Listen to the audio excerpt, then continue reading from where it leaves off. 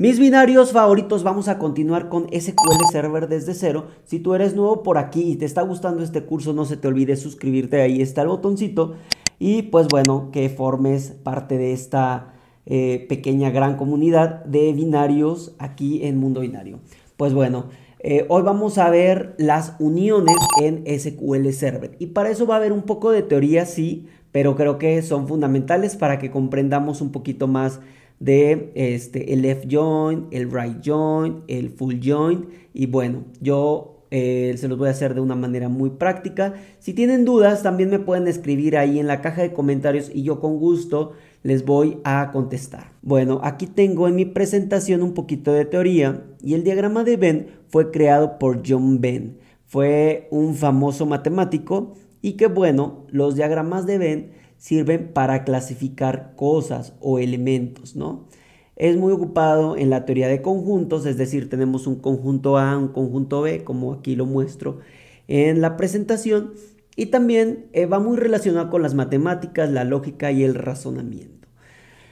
Bueno, pasamos a la segunda presentación y aquí para esto yo hice eh, pues dos conjuntos, mi conjunto de employees que van a ser nuestros empleados y mi conjunto de departamentos. Por ejemplo, aquí tengo 8, 8 empleados y estos 8 empleados van a estar repartidos en departamentos, como sucede en una empresa, ¿verdad? Que tenemos sistemas, recursos humanos, producción, ventas, compras y podemos tener muchísimos más. A manera de ejemplificar, solo puse 5 y 8 empleados. Muy bien, ya que estamos en nuestro management y si ustedes recuerdan y van siguiendo este curso, tenemos la base de datos mundo binario, que tenemos nuestras tablitas. En este caso nos toca generar nuestra tabla employees y departments. En este caso yo ya tengo el script preparado para no hacer tan largo este video, lo voy a descomentar y aquí pueden ver que mi tabla de employees va a tener un ID, un nombre y un department ID, es decir, a qué departamento pertenece el empleado. 1, 2, 3, 4. si ustedes tienen dudas de cómo se generan tablas o se crean tablas, ahí les dejo eh, la liga para que vayan a ver cómo se generan tablas. En este caso no voy a ocupar foreign key para que se puedan prestar a hacer las relaciones, que no es lo más óptimo, pero para ejemplificar lo voy a dejar sin foreign key, ¿ok? Bueno, después tengo otra tabla que se llama departments y tengo el departamento ID que es una identity, es decir, se va a ir este, llenando de manera automática y es mi llave primaria y el nombre del departamento. Lo voy a ejecutar y ya se completó mi script. Entonces le voy a dar a actualizar a mis tablitas y ya tengo aquí efectivamente mis departments y ya tengo mi employees con los campos que yo definí. Voy a eliminar y ahora voy a hacer una inserción de mis empleados, ¿vale? Entonces les comento esta parte. Entonces voy a insertar en la tabla employees a Axel Romero, a Roberto Mujica, Alejandra Rosas. De, en este caso tengo el departamento 1, 1, 2, 3. Son números, ¿verdad? Que ahorita no tienen tanto sentido, pero lo vamos a, este, a insertar. Vamos a ejecutarlo. Se insertaron mis 8 eh, empleados. En este caso son estos ocho empleados que les estoy mostrando en la, eh, en la presentación. Vamos a cerciorarnos de que si se hayan insertado, le voy a dar seleccionar y efectivamente aquí están mis empleados. Si yo le hubiera puesto una llave foránea no me hubiera permitido y este, insertarlos porque todavía no existen departamentos. Bueno, voy a insertar ahora los departamentos. Ya inserté los empleados, ahora voy a insertar los departamentos, los mismos que tengo en mi presentación, sistema, recursos humanos, producción, los inserto. Muy bien, ahora veo si ya están insertados mis departamentos. Aquí están mis cinco departamentos y mis ocho empleados, lo mismo que tengo en la presentación. Ok, bueno, siguiendo, ahora voy a hacer la representación de mi diagrama de Venn que eh, regularmente se hacen con dos círculos Aquí tengo mi universo de employees y departamentos, ¿no? Lo represento aquí con una persona y aquí como un panel, algo así, que son mis departamentos. Muy bien, si lo queremos ver de esta manera, ok, si lo queremos ver de esta manera, voy a darle un select asterisco from, voy a ver los departamentos y también voy a ver los employees, ¿no? Mis dos universos. en este caso se traducen en tablas, y de esta manera le doy F5, me está marcando un error, bueno, es por mi, este, mi, eh, mi corchetes. Bueno, aquí ya están mis dos universos, que son los de employees y los departments, que son estos dos datos.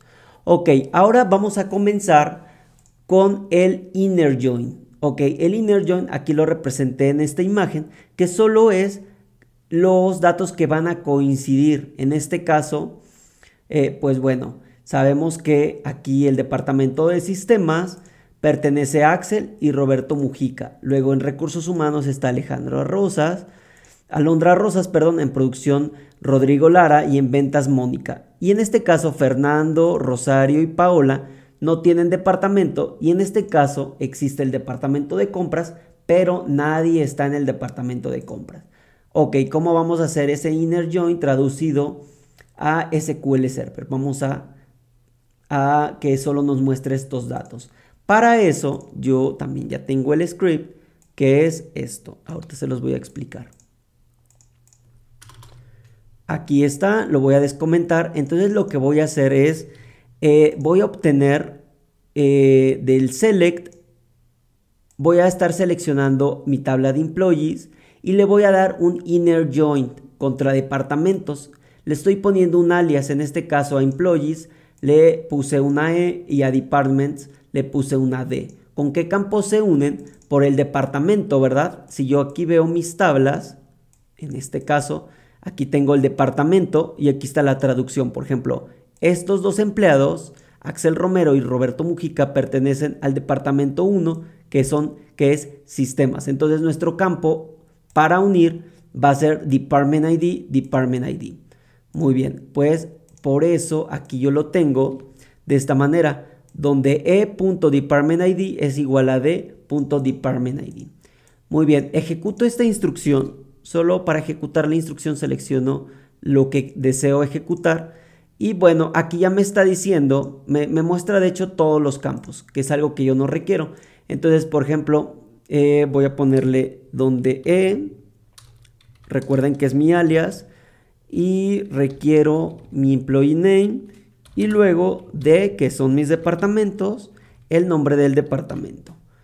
Sin más, voy a ejecutar y ya me debe dar lo mismo que acá. En sistemas hay dos personas, en recursos humanos una persona, producción y ventas. Estos mismos datos, si nos damos cuenta, son los mismos que tenemos aquí, en la intersección. ¿Por qué? Porque conviven o tienen alguna relación entre departamentos y empleados. Ok, eso es el inner joint. Pero, ¿qué pasa con el left joint? El left joint es que requiero todo lo que se encuentre en mi tabla izquierda. Por eso, left joint. Aquí en las representaciones quiero que me muestre todo lo que tenga mi tabla A. En este caso, mi tabla employees. ¿Qué vamos a hacer ahí? Pues nada más y nada menos que vamos a cambiar aquí la palabra left. Muy bien, y ejecutamos nuevamente. Y en este caso me muestra todos los empleados, aunque no tengan departamento. ¿Vieron? Es decir, bueno, si hay alguien en la empresa que se llama Rosario Galicia, pero en sistemas no sabemos a qué departamento pertenece. Igual Fernando e igual Paola. Fíjense que aquí no aparece nada de compras. ¿Por qué? Porque lo que nos interesa es el left join. En este caso, mi left join es la tabla de employees que es todo el universo de mi tabla de employees, que son todos estos, todas las relaciones que puedan existir. Muy bien, eso es el left joint. Ahora tenemos el right joint. Ahora quiero seleccionar todos mis departamentos, ¿vale? Entonces ahora voy a cambiar, lo adivinaron, la palabra en vez de eh, left le voy a poner right. Right lo ejecuto y ahora fíjense que ya no me aparecen todos los empleados, ahora me aparecen sí todos los departamentos, pero por ejemplo puedo decir que existen cinco departamentos, pero no todos los departamentos están llenos. Por ejemplo, compras no hay nadie, que es lo mismo que yo represento aquí en amarillo, este mismo amarillo. Es decir, mi, mi departamento sistema, recursos humanos, ventas, producción y compras. Efectivamente, en compras no hay nadie. Aquí ya no me aparecen estos tres nombres, Fernando Roa, Rosario y Paola. ¿Por qué? Porque ahora le estoy dando un, un right join, que son, solo me interesan los departamentos, eh, la unión que encuentren. Muy bien. Por último, en la presentación tenemos el full join, es decir, quiero que me muestres todo, las relaciones que encuentres de la tabla A y la tabla B, en este caso de la tabla employees y departments. Pues muy bien, ahí le vamos a dar un full join. También se puede ocupar other join a su consideración. Digo, es complemento de la instrucción. Y por eh, estructura de SQL, sí recomiendo que coloquen un other join. Ok, ejecuto. Y fíjense que aquí me aparecen tanto todos los empleados, tanto todos los departamentos. Por ejemplo, en compras no hay nadie. Y hay tres empleados que no tienen departamentos o departamento asignado y los departamentos que ya sabíamos con qué empleados pertenecen. Entonces ahora ya me muestra todos, todos los registros. En este caso 1, 2, 3, 4, 5, 6, 7, 8 y 9. Ok, esos 9 son los mismos que se traducen aquí en SQL Server. Ok, también tenemos algo donde podemos hacer un eh, left join y un right join con null. ¿Cómo sucede eso? Por ejemplo, le voy a dar un left join, regresándonos un poquito, que solo es quiero todos mis empleados aunque no tengan un departamento, pero ahora le voy a decir where, donde, eh, por ejemplo, aquí, donde D, que es mi departamento, ¿verdad? Donde D, bueno, donde department ID, así, le voy a colocar la instrucción donde sea is null. Entonces, de esa manera, ah, perdón, le di otro clic en otra parte, le voy a dejar ejecutar. Eh, bueno, aquí el punto y coma se me olvidó borrarle. Ejecuto y fíjense que ahí solo me va a aparecer los que empleados que tengan eh, un departamento no asignado, ¿no? Entonces de esta manera ya vamos a saber, ah, bueno, pues Rosario, Fernando y Paola necesitan un departamento. Si quiero saber todos los que sí tienen un departamento asignado, solo voy a colocar is not null. ¿Para qué? Para que ahora me aparezcan todos los que sí tengan departamento. De igual manera, yo puedo ocupar un right join con is null. Es cuestión de ustedes que ustedes vayan experimentando, pues, eh, de qué manera quieren clasificar su información. Recuerden que los diagramas de Venn, que es esto que les mostré, pues es decir, qué vamos a descartar y qué vamos a integrar de acuerdo a los requerimientos del sistema, del usuario o de la información que se requiera, pues es lo que vamos a ocupar, si un left join, un right join. Si ustedes tienen dudas, por favor déjenmelo en la caja de los comentarios, seguro yo les voy a responder y este, espero que les haya servido mucho este video. Sé que es muchos conceptos complejos, pero poco a poco y si ustedes investigan un poco más a fondo, van a ir este, evolucionando. Y recuerden que esto se requiere de práctica, práctica, práctica. Así que este, pues vayan siguiendo este em, video tutorial, este curso desde cero. Y si les gustó este video, regálenme un like y nos vemos en la siguiente. Cuídense mis binarios favoritos. Bye bye.